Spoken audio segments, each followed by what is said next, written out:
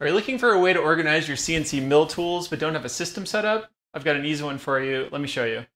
To give a little more explanation, when a tool comes out of the machine and we take it from the spindle and we put the tag back on it, it keeps track of the gauge length so that we don't have to measure it again. And then we can just enter that into the machine when it goes back into the machine. But when we store it, we take the tag out and that means that that tool is empty in the machine, which helps identify and keep things organized. What's in this machine? I have to go around the side here and look, and the pocket numbers don't line up with the actual tool number. This simplifies so much of that. So you take the tag, and then when we go sort of the tool, it's just up here. It's set up.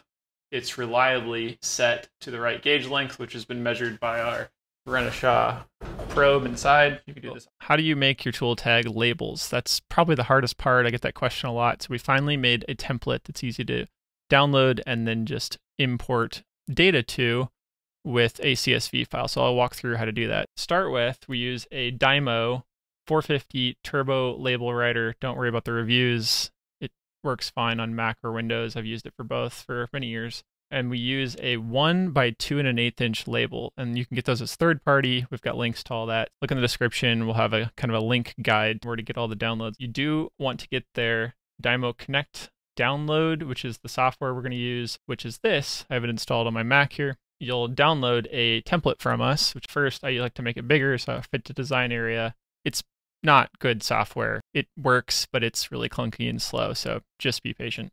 You have a bunch of fields here that we've predetermined for you, but it's just text. But if you've ever used a data merge before in Microsoft Word, I believe can do this, or InDesign, you basically are replacing some aspect with data from a spreadsheet or a CSV file.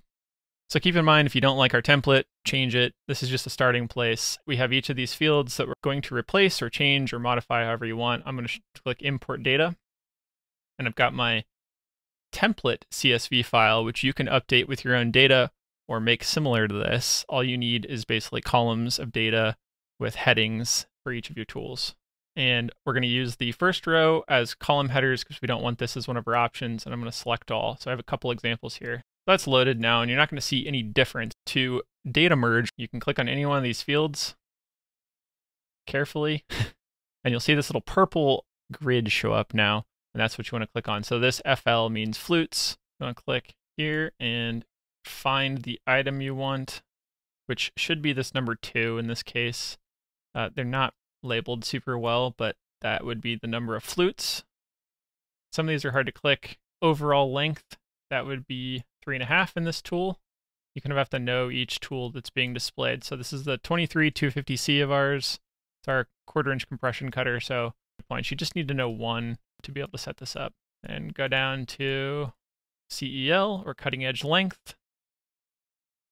What you're going to see when you open these is you're going to see this weird like giant text thing.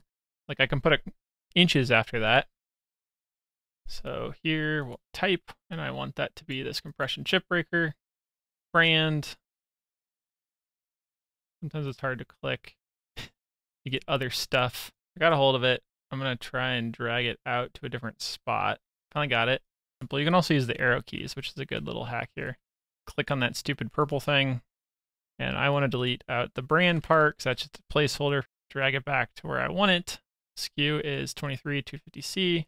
And then this GL is gauge length or the length of the tool. This one up here, delete all this. This is the diameter of the tool. Again, if you select at the end, you can add in other text. QR code is totally up to you. You can use it like a, a URL if you have a link to like an ERP or like website link. Uh, a lot of vendors to link straight to their tool or to purchase it again. You can also have it be just the SKU. So it's really easy. You just choose whatever that item you want it to be linked as. So it could be the 23250C, link straight to our website. So I'm going to leave it at that.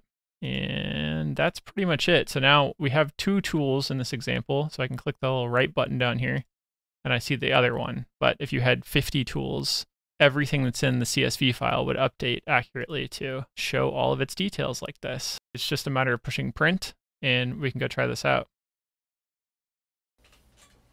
Out here at our label printer, So we can take our label off and we have positioned this little line here so that it's basically the perfect spot for where our edge view tags go. You can place it just like this. If you have any problems with the stick, you can use a little bit of glue stick or uh, we tend to not have any problems. You can also like breathe on it and get it hot, but they, they tend to last quite a while. What I like about these labels is when this uh, gauge length changes, you can just kind of peel it off again and stick it back on. So this works on any of these. We have currently four different sizes from the Cat 40 here in orange. This is BT30, BT40, and ISO 30. And uh, we're working on more, potentially an ISO 20 coming soon. You can use your QR code scanner or your phone to uh, scan these babies right into your computer. Pretty simple.